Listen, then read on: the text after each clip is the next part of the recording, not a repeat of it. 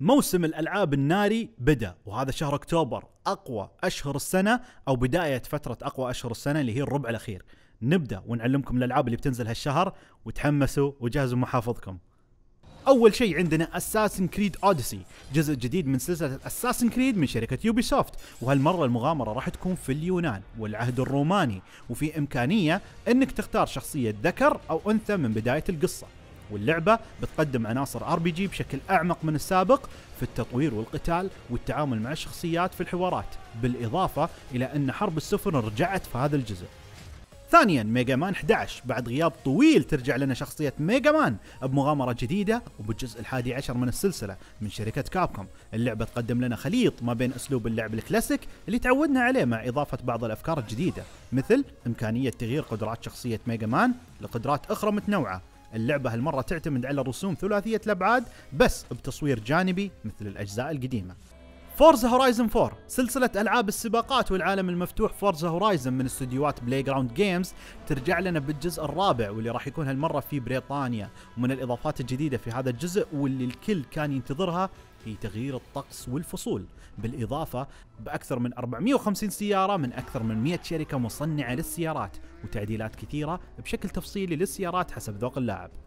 Super Mario Party سلسلة ألعاب الطاولة الجماعية من شركة Nintendo Mario Party. ترجع لنا بجزء جديد ولأول مرة على Nintendo Switch واللي رجعوا فيه بالسلسلة إلى جذورها في طريقة التحكم ولكل شخصية حريتها بدون الارتباط بمركبة واحدة. اللعبة تقدم معها أكثر من 80 لعبة مصغرة ومجموعة مختلفة من الخرائط. لأول مرة في السلسلة راح يكون فيها لعب تعاوني عن طريق الشبكة. WWE 2K19 جزء جديد من سلسلة ألعاب المصارعة المبنية على اتحاد WWE من شركة 2K وفريق التطوير يوكس. وحسب مسؤولي فريق التطوير هذا الجزء راح يبعد عن أسلوب ألعاب المحاكاة الواقعي اللي لعبناه في الأجزاء السابقة. وراح يكون التوجه للعب السريع والأكشني. يعني نقول زي بداية السلسلة. ومن أهم إضافات هذا الجزء هو طور القصة للمصارع دانيال براين اللي راح تلعب فيه قصة المصارع حتى حصوله على لقب بطل العالم. Call of Duty Black Ops 4 جزء جديد من سلسلة ألعاب التصويب Call of Duty اللي تسمونها COD من شركة Activision وهالمرة الدور على فريق التطوير Treyarch لتقديم لعبته وقرروا إصدار جزء جديد من Black Ops بجزء رابع.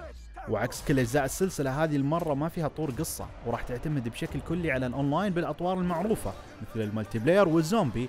ومن أهم الإضافات الجديدة للسلسلة هو طور ال battle royale المعروف ب Blackout Soulcalibur 6 سلسلة ألعاب القتال بالأسلحة. Soulcalibur من شركة Bandai Namco ترجع لنا بجزءها السادس واللي بيرجعون فيه لأصول القصة.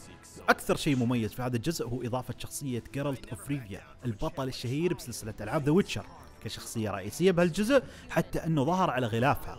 واللعبة أكيد تضم عدد كبير من الشخصيات الكلاسيكية في السلسلة واحتمال كبير جدا إضافة شخصيات أخرى كضيوف للعبة. ونقول ختامها مسك واللعبة اللي كلكم تنتظرونها. Red Dead Redemption 2 بعد ثمان سنوات من إصدار الجزء الأول ترجع لنا شركة روك ستار بإصدار الجزء الثاني.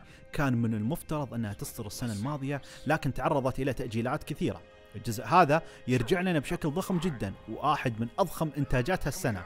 راح تكون أحداث الجزء الثاني قبل الجزء الأول والشخصية الرئيسية هو آرثر مورغان. اللعبة تصنف بأنها لعبة أكشن منظور ثالث مع تأكيد توفر المنظور الأول كخيار لك إذا حبيت تلعبها بهذا الشكل. يعطيكم العافية على المتابعة. لا تنسون تقولون لنا في التعليقات وش أكثر لعبة متحمسين لها في هذا الشهر. نشوفكم بإذن الله في فيديو قادم. كان معكم محمد البسيمي. مع السلامة.